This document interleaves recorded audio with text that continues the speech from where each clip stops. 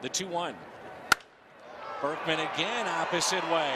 Slicing, will it stay fair? You bet! Into the bullpen. Two home runs tonight for Lance Berkman. A slicing opposite field home run for Berkman. Three RBIs tonight. Two home runs. And the Cardinals lead it 7 to 2.